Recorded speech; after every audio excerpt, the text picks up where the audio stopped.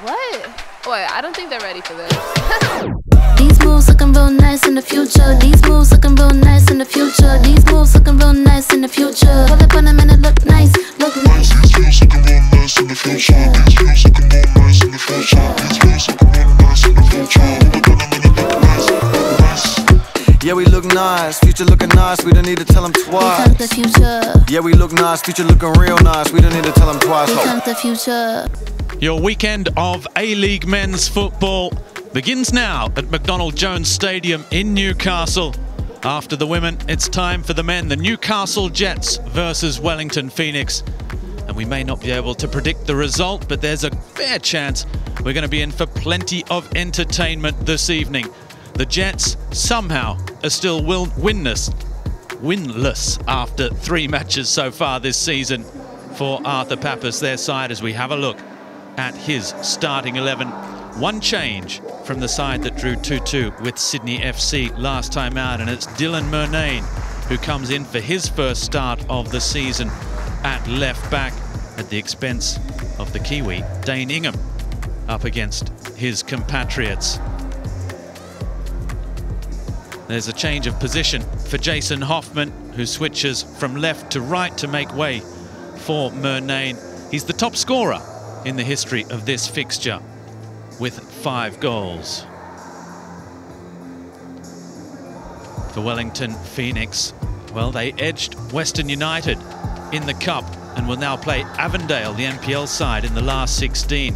There were eight changes in midweek from the starting 11 that today reverts to the same 11 and that 4-4-2 that loss to Western Sydney Wanderers last time out.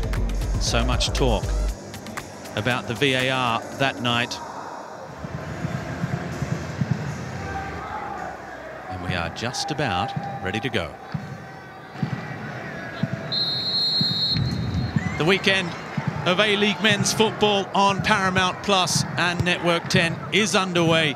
Andy Harper joining me in the hot seat. Andy, plenty of entertainment to be expected this evening, but beyond the entertainment, and Matt Yerman said it in the pre-match talk, we're fine with entertaining. Now we'd like to win, please.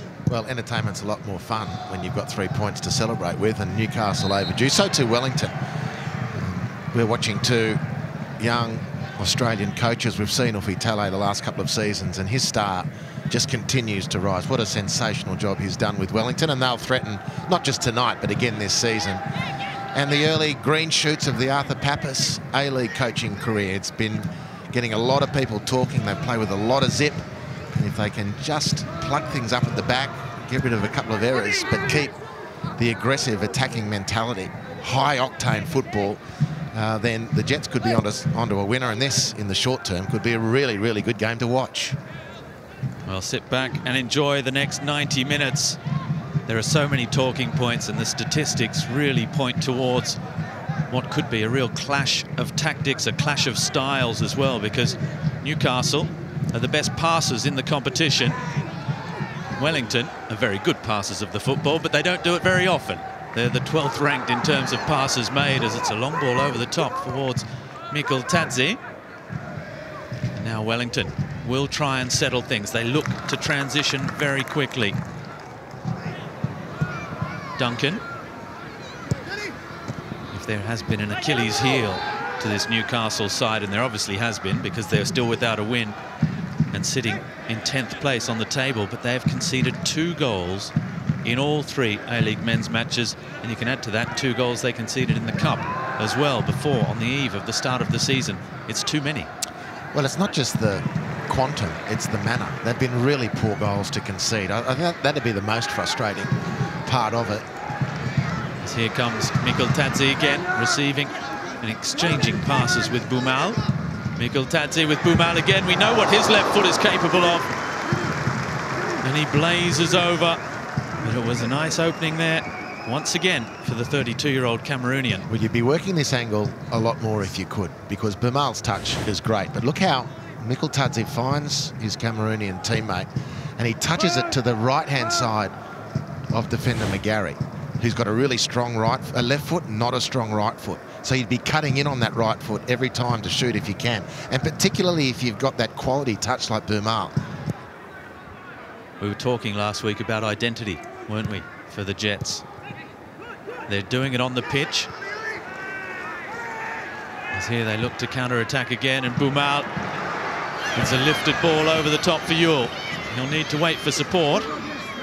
He's already laid on one assist so far this season. It was in this type of range as he fires the ball across the face of goal, and Thurgate wasn't far away. Well, you touted this before kickoff, Robbie. Yuel versus Elliott. And all the homework is done on Valentino Yuel.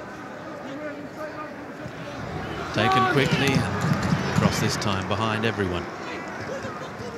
Josh Laws with two outstanding stretches with his left foot. It's good to see him playing regularly. One or two injury troubles came back from Britain to join Wellington Phoenix. Had not in significant figures of Luke DeVere and Steve Taylor in front of him as central defenders, and then Payne was redeployed into the centre. Josh Laws was bits and pieces, but again, in the off-season with the departure of players and Ufuk Talay, seeing what he could get out of Laws, and he's getting a return. He's started the season excellently. Started every match alongside Tim Payne. Both were rested in midweek. Here goes Yuel against Ben Old. Penha. Mikkel Tadze again coming short. Hoffman turns back inside to the edge of the area. Thurgate for Boumal. Again, it's nicely worked. Cross in! And Mikeltadze has his goal. And the Jets are in front. 31 minutes gone. They lead by a goal to nil.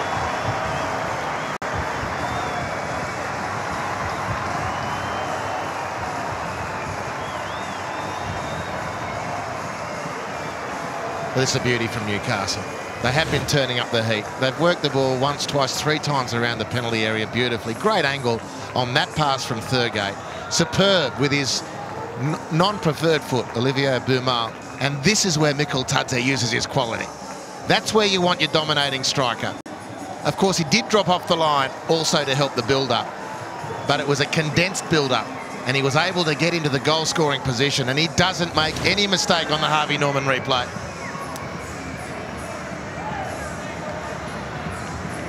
The second goal of the season for Mikeltadze. The first of this match.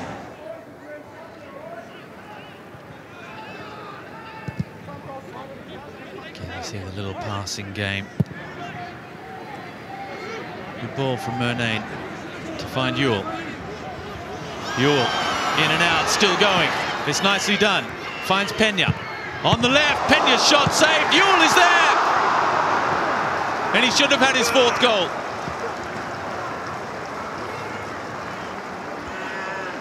for all money. It should have been his fourth. He's been in great touch and made the chance. This is the first moment of real power from Daniel Penha. And just leant back, couldn't get to the ball on the bounce or close enough to. Brilliant from the Brazilian. When he hits them, they stay hit. That one stayed hit as well from Tino Yuel, but the wrong side of the crossbar. One minute of stoppage time at the end of 45 here is there time for the Phoenix, who haven't conceded many chances, but they have conceded chances, including the goal, which was uh, superbly worked and tucked away by Bika Mikkel Tadze. How can they produce something of their own going forward, the Phoenix?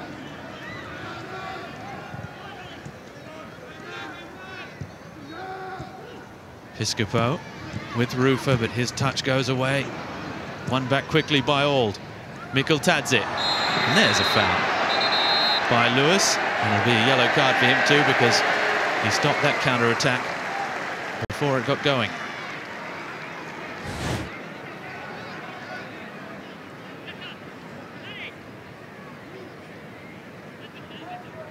Beautiful turn. Mikeltadze's got lovely technique the better side of Clayton Lewis. Beautiful use of the outside of the foot. We've seen a number of times that first touch to take him away from the man right next to him, just create that little half a yard of space. And it's that quality which is the difference. between the two sides here, halfway through at McDonald Jones Stadium, where the Jets are looking for their first win in nine matches here at home. They have a 1-0 lead at the break, courtesy of Beka Mikeltadze's goal, which came in the 32nd minute. Half-time, the Jets won, the Phoenix nil. We have a little change there. Jaushua Sotirio has come into the contest for Phoenix. We'll have a look at that. We're stacking the left side. It's a, an NFL power play to get this second half underway. Am I mixing my North American sports there, Andy? Badly. It's an NHL power play. Looks like NFL to me. Well, they're putting three wide receivers and a tight end on the left. That's just been thrown straight out of play. So we come back and do it again, don't we? Incomplete. As it is, Yuel, who's uh, taken off the hairband, and he goes down, dragged down by Callan Elliott. Yellow card for the right back. Too good, Tino, in that one-on-one. What a season it's shaping up for him. He should have had a goal this evening. And that's the best Callan Elliott can do to stop the danger. He won't be able to do that a second time. Only two in the wall for Ollie Sail.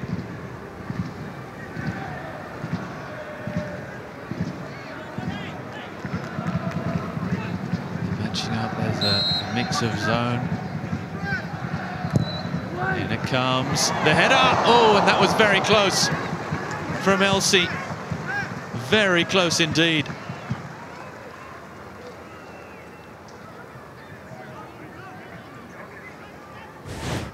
Good chance. Nicely swung in from Jordan O'Doherty, one Adelaide boy to another.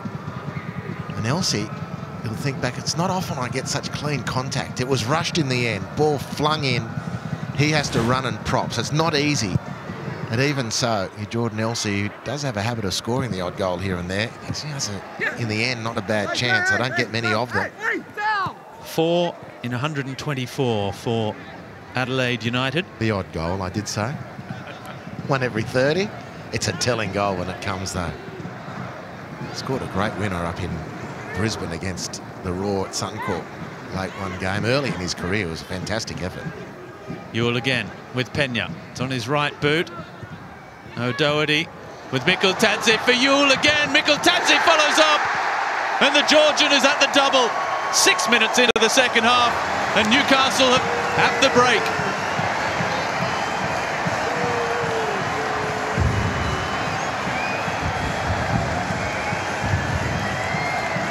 Surely that first win of the season is on its way. Well, you've gone off early, Robbie Thompson. But what is safe to say that at least the Jets have started the second half better than they have in any of the previous three weeks. Nice, tight play. Beautiful through ball again. Probably should have been the second great chance for Tino Yuel tonight. He's still carrying the duck egg, and it's Mikeltadze who helps himself on the Harvey Norman replay to a brace. She's playing well. Beautiful ball in behind. Tino Yuel's touch not good enough, but in the end, inadvertently, it turns into a really tidy little assist, and the Georgian makes it two. Great football, Newcastle. Well, it was a very bright couple of minutes early at the start of this second half for Josh Sotirio. The promise of more to come, but that second goal was a real cold shower for Wellington Phoenix. They were hoping to find a way back into the contest. They might yet. We know that a two-goal lead is a dangerous one. It's McGarry who was just allowed to run and run. Boumal's touch is clever, but Penha has given it straight back again. Another free kick. He's had some beautiful touches, Boumal, and of course, rightly credited. Here's McGarry again, the cutback. He was looking for Sotirio. It was beautifully read by Hoffman. Rightly credited with the assist for the first goal, Olivier Boumal, and he's shown some exquisite moments with the ball. And if you're Arthur Papas, you're just wanting more of them. You need your really top players, your imports in particular, if they're going to do their job and prove that they're better than what's around in the Australian scene, then they've got to take these dominant roles on. One over the top. Duncan comes, but the flag is up for offside. Well, Arthur Papas does know Olivier Boumal, of Well. course, as well. Yeah, so he's not. Uh, he's no mystery, and he's shown plenty. He just needs to do it a, just a little bit more regularly. He played 15 times, scoring two goals under Ange Postecoglou when Arthur Papas was assistant coach at Yokohama F. Marinos, the Cameroon international. Clearly, Papas remembering and thinking he could serve a purpose Yeah, in this jet side. I'm I'm not wanting to rain on his parade. I think he's been a fantastic acquisition. But you look, it's not as though Newcastle slant all their attack down the Yuel wing, but he's the one of the two who's really as Penha hits it.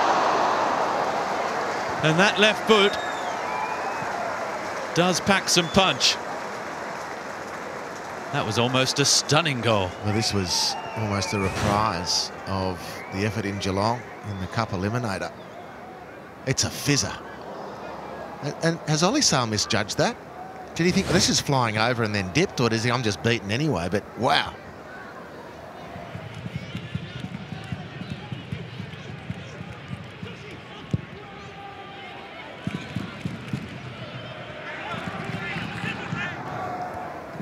Dane Ingham, the 22-year-old New Zealand international, up against his compatriots, of course. As here's Penha. Penha, oh, it's a lovely little touch, and it's a wonderful goal, and it's Murnane who adds his name to the score sheet and goes and celebrates with the fans as well. Penha with the cheeky little pass, and the Jets have been threatening so far this season. And now they're delivering on that promise.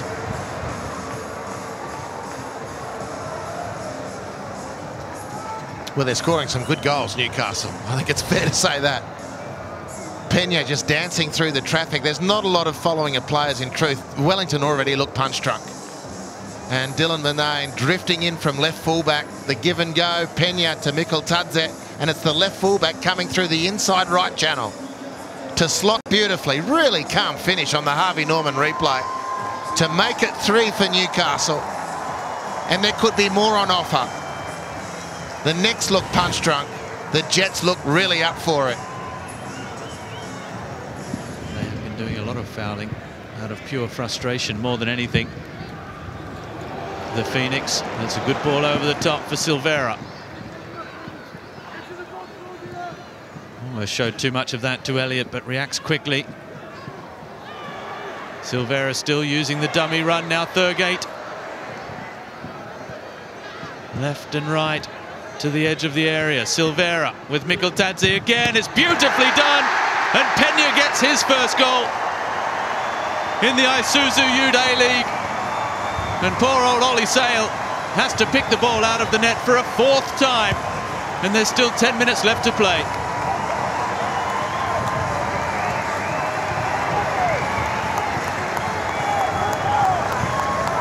Take a bow. Mr. Penha. Harvey Norman replay just shows some beautiful, beautiful football. The Penha with that left foot is threatened tonight. The lead-up play, really, really good. Look how static the Wellington defence is. Just stun mullets on the Harvey Norman replay. This is a team that's been ground out, and any notion that I may have invoked of a Nix comeback late in this game is now dead and officially buried. Super stuff from Newcastle. Four very, very good goals, and there might have been more. There still might be.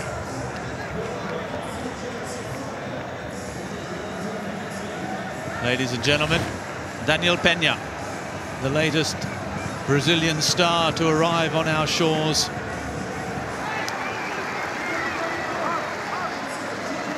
Is replaced Konstantinos Grozos and O'Doherty is replaced by Mohamed Al-Taay. Now we'll see for five minutes or so.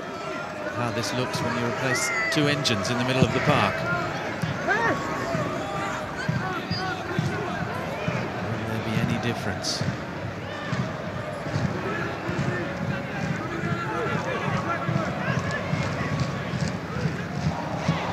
One-two, Silvera. He's looked lively since coming on. Mikeltadze, the little touch, out.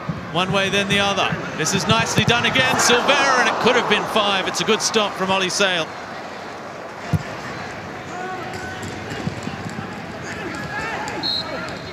Well, he wants his goal as well.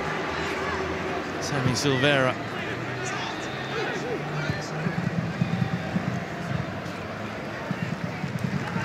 Rufer. It's been a long and difficult evening for Wellington Phoenix and by all accounts it's going to go right to the end of 94 95 minutes. Sotirio McGarry into the area the cutback and Rufer oh, wasn't bad on the left foot. He's not a prolific goal scorer the Nix captain. Well, that's an understatement. Fine captain, fine player that he is, but goal scoring, unlike his famous uncle Winton. That gene didn't go to the next generation.